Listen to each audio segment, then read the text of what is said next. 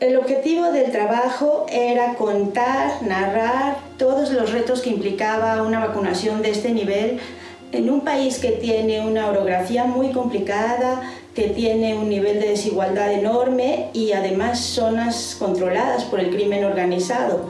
Pensamos que teníamos que contar eso.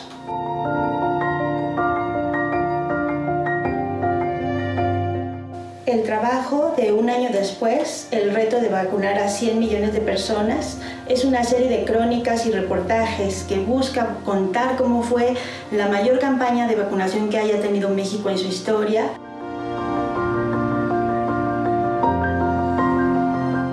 Tuvimos varios retos. Quizá más grande era poder explicar complejidades sociales, económicas e incluso políticas que hubo para eh, poder concretar esta vacunación.